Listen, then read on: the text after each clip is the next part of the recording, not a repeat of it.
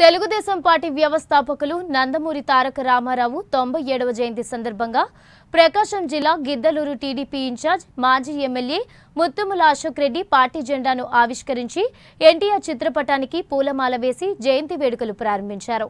ఆయన మాట్లాడుతూ మాజీ సీఎం ఎన్టీఆర్ చేసిన సేవలు మరువలేనివని తెలిపారు. ఈ కార్యక్రమంలో కంబం మండల అధ్యక్షులు కేతం తదితర నాయకులు పాల్గొన్నారు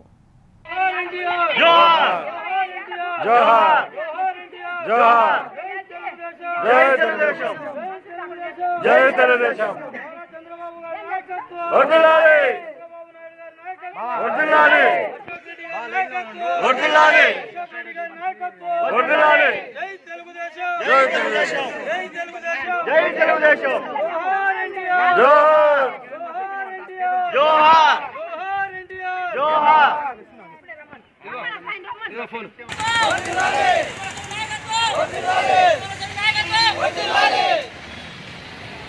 Yeah.